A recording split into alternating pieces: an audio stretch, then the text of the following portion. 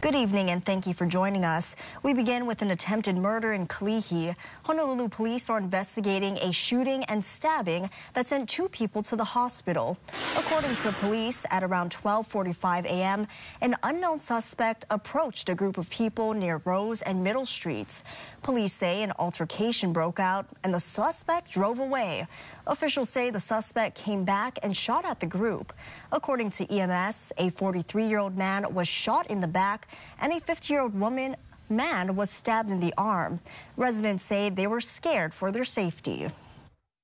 I heard some gunshots down the street. My auntie, my dad, and my mom heard it all last night. So we just turned off the lights and made sure everything calms down. We had like we heard like a couple of rounds last night. Police say the victims were hospitalized in stable condition. No arrests have been made.